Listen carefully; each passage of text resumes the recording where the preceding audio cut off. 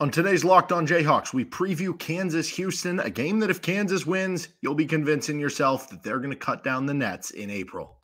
You are Locked On Jayhawks, your daily podcast on the Kansas Jayhawks, part of the Locked On Podcast Network, your team every day.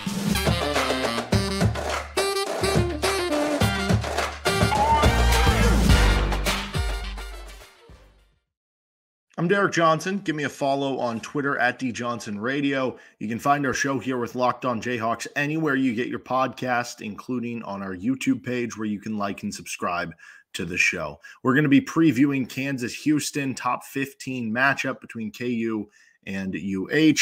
We'll get into our storylines of the game, Houston scouting report, matchups of the game, player matchups, and Hawks to soar on this episode of the show. First, we're brought to you by LinkedIn Jobs. These days, every new potential hire can feel like a high stakes wager for your small business, which is why LinkedIn Jobs helps you find the right people for your team faster and for free. Post your job for free at linkedin.com slash locked on college. Terms and conditions apply.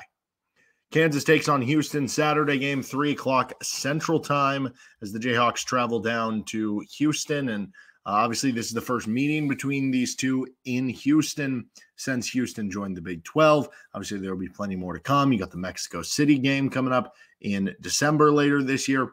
Um, but this is a game where, I don't know, maybe there is a bit of a passing of a torch moment or opportunity because Houston has already clinched at least the share of the league. They're trying to win the league outright in this game. And for them to do that and beat Kansas in the same sentence would feel fitting in a certain way. Now, maybe from the Kansas perspective, it's the opposite of that. It's, hey, you won the league, but we're going to sweep you this year. We're going to win one back, and we're going to feel like we're headed in the right direction in what we can obviously do. And so, even though Kansas can't win the Big 12 with this game, there still is a lot to play for. Your Big 12 tournament seed is obviously something to play for here, right? Um, you want to be in that top four so that you can get that double bye.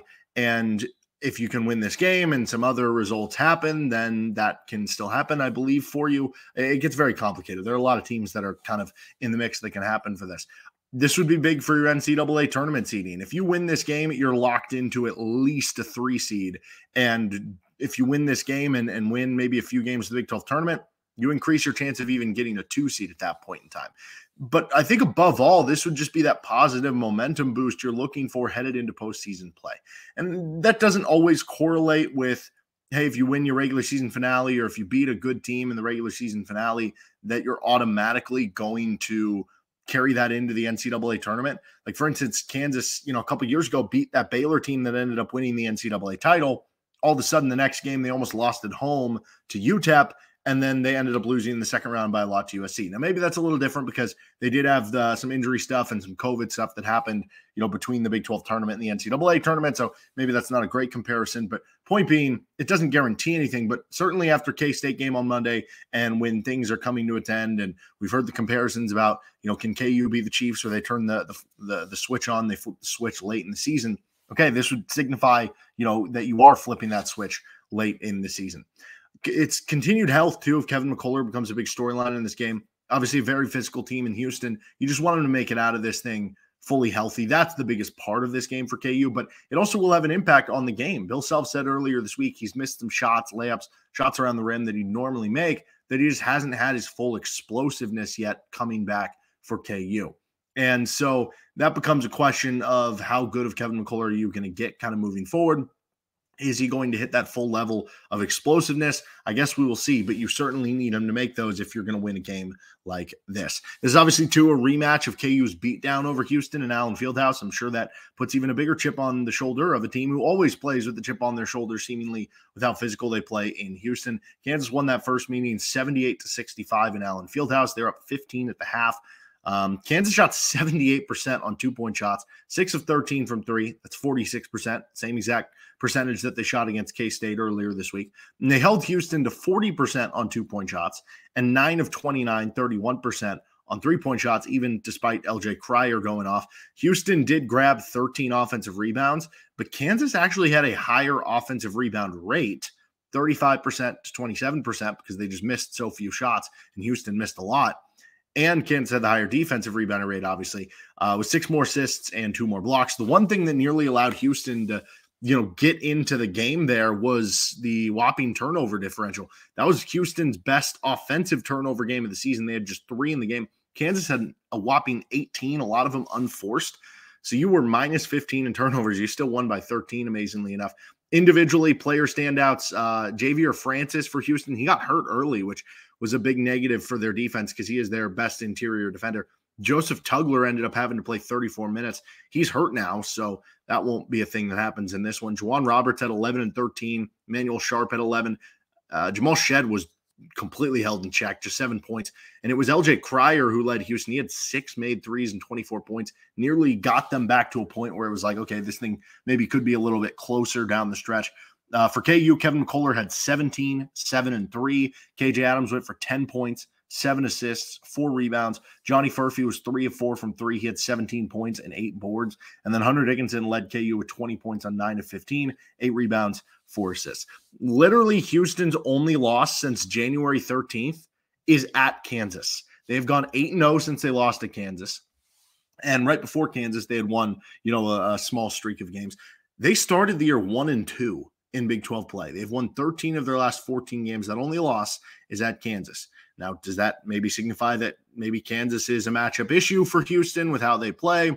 Was it just a great game for KU and not a great game for Houston? I think it was probably a little bit of that, but maybe that gives you hope into this matchup. Uh, it's also senior day for Houston and they're trying to put the exclamation point on the season and grab that Big 12 title uh, outright for them. So this one will certainly mean a lot because they do have some good seniors that they'll be celebrating with guys like Jamal Shead. Although nowadays I, I never know with the COVID year, obviously, but uh, Jamal Shead I, I, believe is listed as a senior. Uh, I believe J'Wan Roberts is listed as a senior. I think LJ Cryer is a senior. So anyway, they're 27 and three as far as their scouting report, 14 and three in Big 12 play. What they do well, defense, defense, and more defense. They're number one in the nation. Interestingly enough, number two in Big 12 only games in defensive efficiency. You might be asking who's number one in defense efficiency in the Big 12 only games. Well, that would be Iowa State, who's actually number two nationally. So in conference only play, they flip flop, but they're two of the best defenses in the entire country. But Houston does it by basically being good at everything. They are top five nationally in effective field goal percentage defense, turnover rate defense, block rate, and steal rate on defense. They are also top 10 in two point defense. And for the sixth straight year, they're top 25 in three point defense. They do such a good job of constantly contesting shots, chasing off the three point line, never giving you that many open looks that even from three, teams haven't been able to consistently penetrate them. Now, on a game to game basis, anything can happen, obviously. Uh, part of what makes that strong defense and, and kind of adds to other avenues of their game. I think when the, the word that I think of with this team the most is tough or toughness for Houston. It just describes how they play and what they are. And I think J'Wan Roberts, who's their four man, he's honestly one of my favorite players in the Big 12. The dude isn't like a knockdown jump shooter. He doesn't have like a finesse post game on the inside that he's hitting all these crazy shots, but he just, he's tough. He gets rebounds, he plays defense he gets put back shots. Like he'll get the occasional shot on the inside where, where he's hitting a hook shot, kind of contested. Like I really like the guy playing. He is a, a really good winning player. And he kind of exemplifies everything they do, him and Jamal Shead. Offensively for them, it's not like an overly efficient one, but I say that they're still top 15 in the country in offensive efficiency. And the reason why is they win the possession game over and over, and they have guards who can at least hit shots off the bounce and hit shots in key moments when the shot clock is winding down or when the game is coming down to the close. Like, go watch the end of the UCF game. LJ Cryer's hitting two big threes in the corner when things are getting close at the end on the road.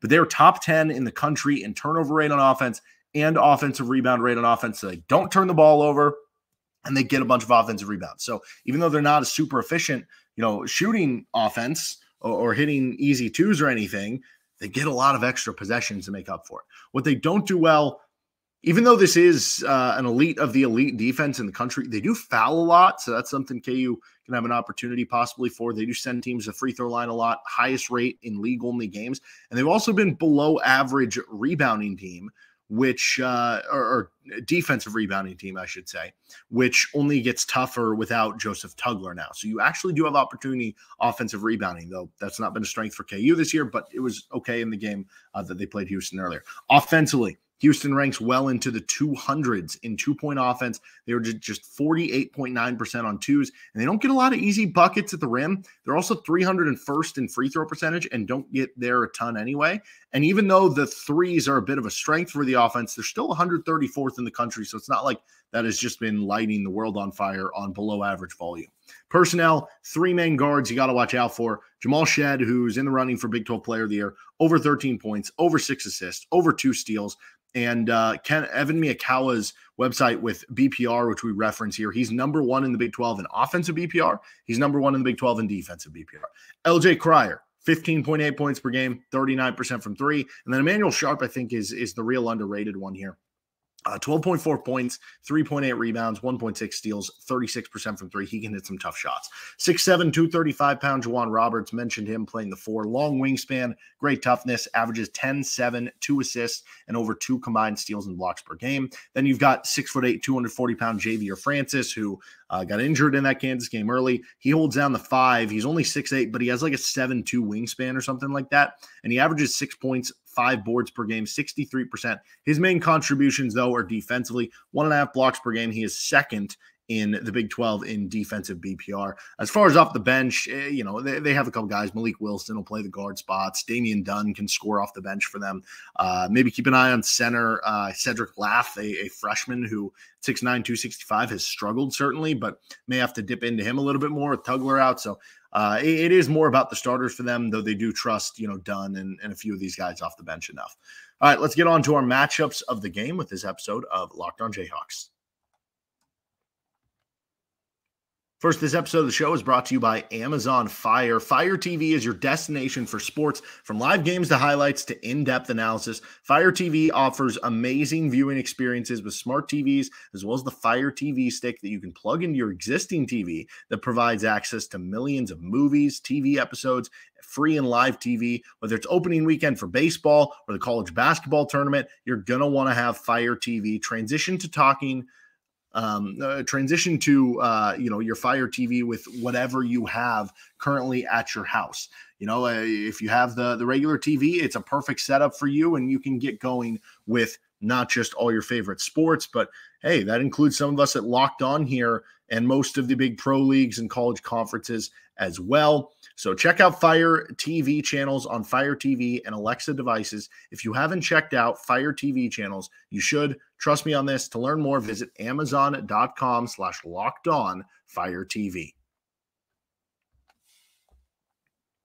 Matchups of the game. Let's start with matchup number one.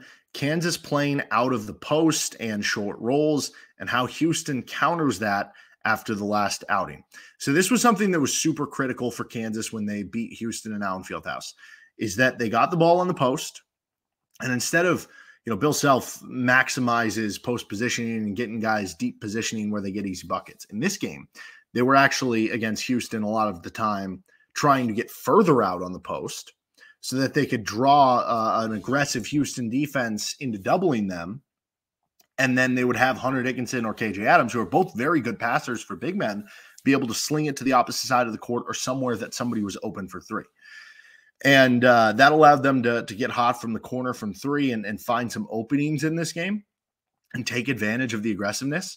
Uh, KU in total, to, to show the proof here, they got 12 assists from the three bigs of KJ Adams, Hunter Dickinson, and Parker Braun. 11 assists combined from KJ Adams and Hunter Dickinson. I mean, that's a very big total from your big men.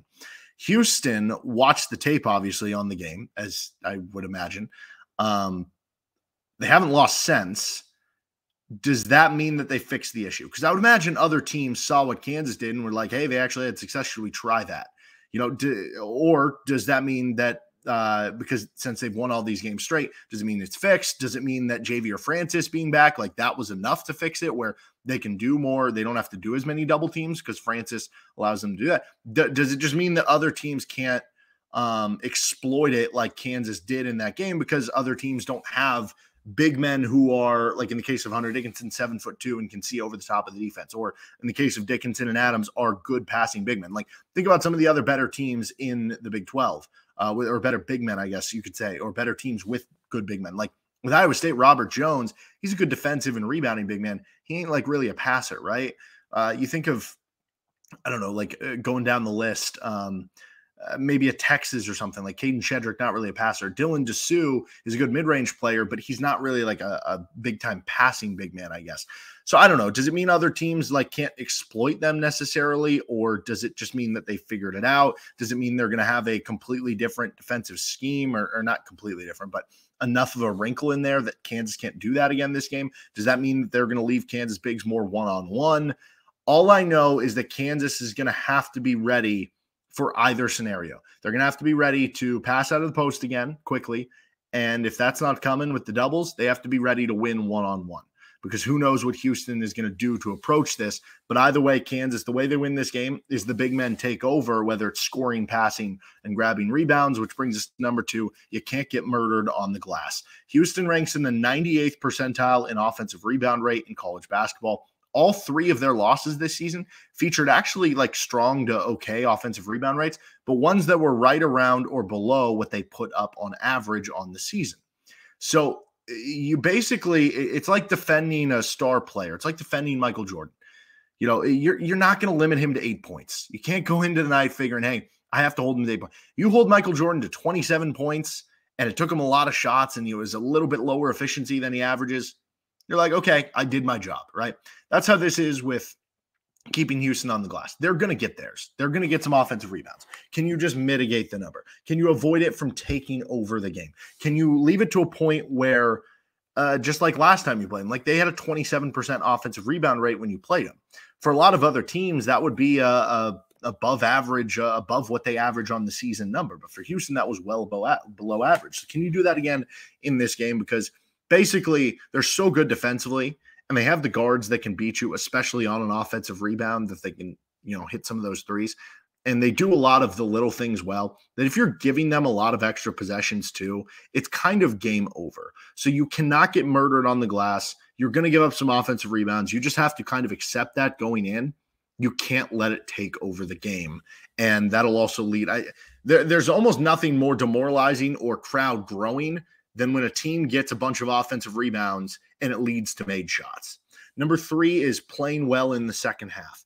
You did not dominate in the second half against them. And, you know, that was something where you're up 15 at the half. You actually lost the second half by two. But at one point, things got even closer than that. And that was a little bit scary, right? With you had those back to back turnovers. Cryer hit some threes there.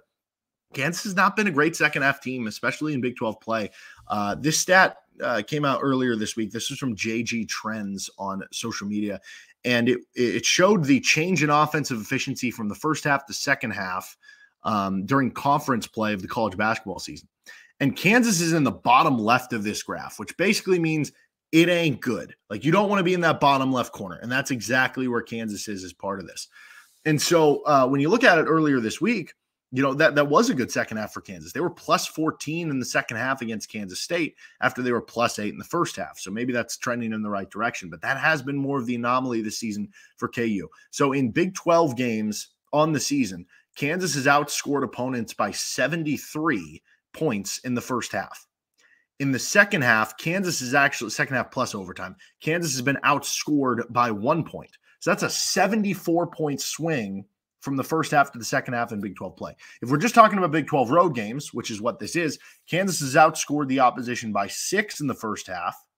They've been outscored by 29 in the second half. So it's a 35 point swing from the first half to the second half. To win this game, you would assume if you're going to win it, it's going to be a close game on the road, which for what it's worth, Kansas is 0 5 in Big 12 road games decided by single digits. That's not great. Though you did win the Indiana game, not a big 12 game, but you know that that one was single digits on the road to give them a little bit of credit there. Um, but you would assume if you're going to have to win this game, it's going to have to be on a close, probably one or two possession game where you have to win a game grinding out late and grinding out in the second half. You need a strong finish. You need a much stronger second half than you've seen in a majority of the Big 12 games this season. Player matchup here is Hunter Dickinson versus Ja'Vier Francis, but I also want to add Dajuan Harris versus Jamal Shead. So uh, the main one here, Hunter Dickinson versus Ja'Vier Francis. It was so critical, as we talked about, for KU to throw quickly to the opposite side after getting a post entry with how aggressive Houston is. Okay, that's going to be a big game plan for Hunter Dickinson. Francis got hurt early last time though, which can change things because maybe they're more happy, you know, playing one on one because they have that elite big man defender down low.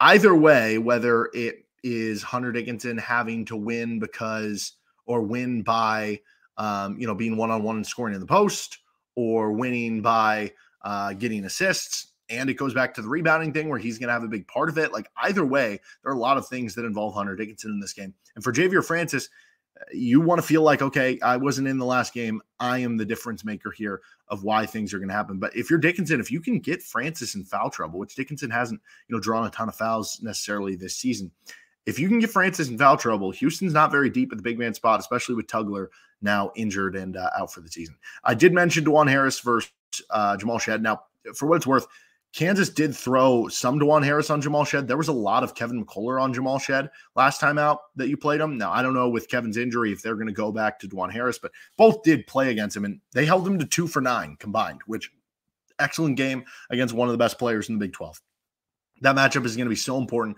Dajuan didn't have super strong numbers overall in the the first game, but he had just one turnover. He had the strong defense. Uh, I thought he was solid enough in that game for what you needed to happen. I think you need a big time performance from Dajuan in this one. Maybe hitting a couple threes, playing that good defense, getting a couple steals for KU to come out on top against Houston.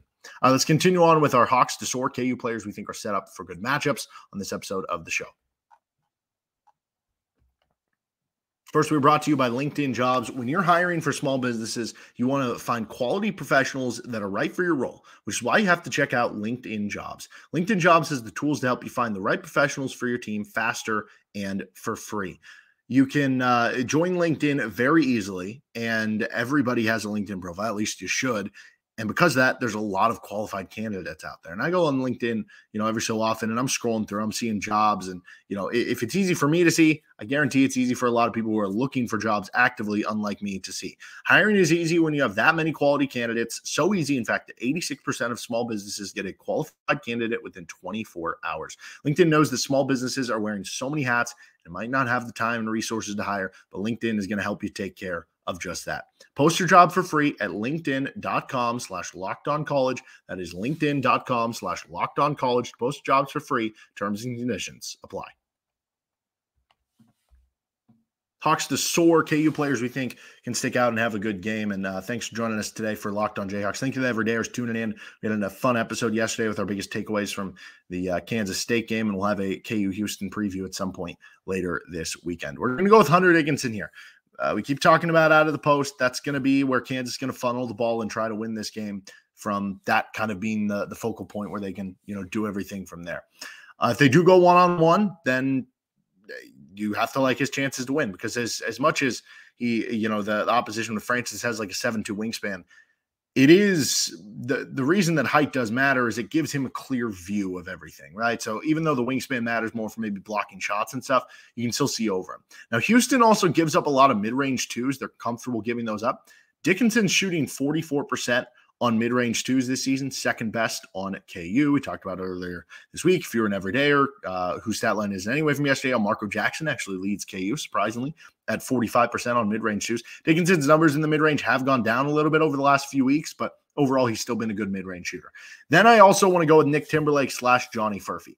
Houston gives up a much higher rate than national average for corner three point attempts. And on the season, teams have been lethal against them from corner threes because that has been kind of the one area you've been able to, you know, get uh, open shots as long as you work the ball around. Teams have shot 42% from three in the corner against Houston this season. That's a number that's up to 44.2% over the last 10 games that Houston has faced. Both Timberlake and Furphy are at 41.2% on corner threes this season. They both shoot corner threes well. Furphy's in a bit of a mini slump right now. So I don't know. Maybe you take Timberlake because he's coming off that great game. Then again, we haven't seen like back to back great Timberlake games. So maybe you take Furphy. I don't know. Regardless, I think both are going to get a couple corner threes in this game. It's just up to them whether they make it or not. But I think the process is there to like either one of these, if not both. And if Kansas is going to come away with a road win, you're going to need both of them to probably hit at least one or two of those corner threes when they do get them. Uh, that'll do it for this episode of Locked On Jayhawks. You can find our show anywhere you get your podcasts, including on our YouTube page where you can like and subscribe to the action. We'll see you next time for KU Houston recap.